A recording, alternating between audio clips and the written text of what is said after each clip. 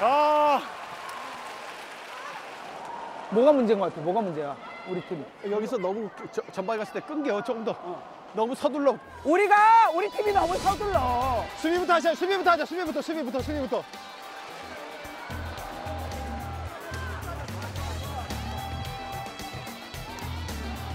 나, 나 한번 쉴게. 나 한번 쉴게, 해경. 한 번만 쉴게. 저 레프레 레프레 레프레 바꿀게요 바꿀게요 최진철 선수가 들어오고 조재진이 빠졌습니다. 대세 대세. 형 내가 나갈게 나갈게.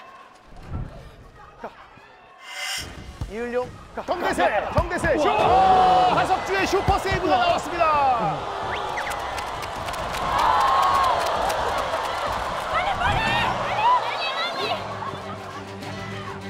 자, 가자, 가자, 가자. 준비! 자 코너킥. 일어서! 형!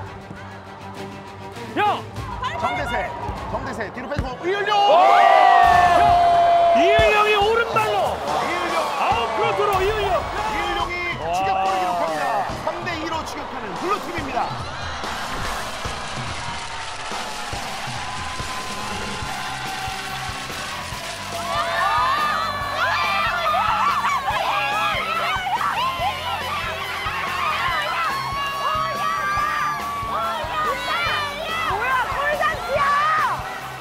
골 많이 나겠는데요?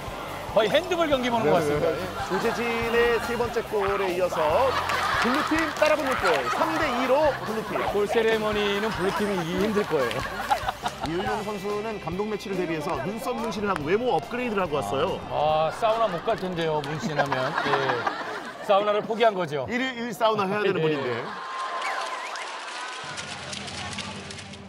아 재밌어 좋아 아주 좋아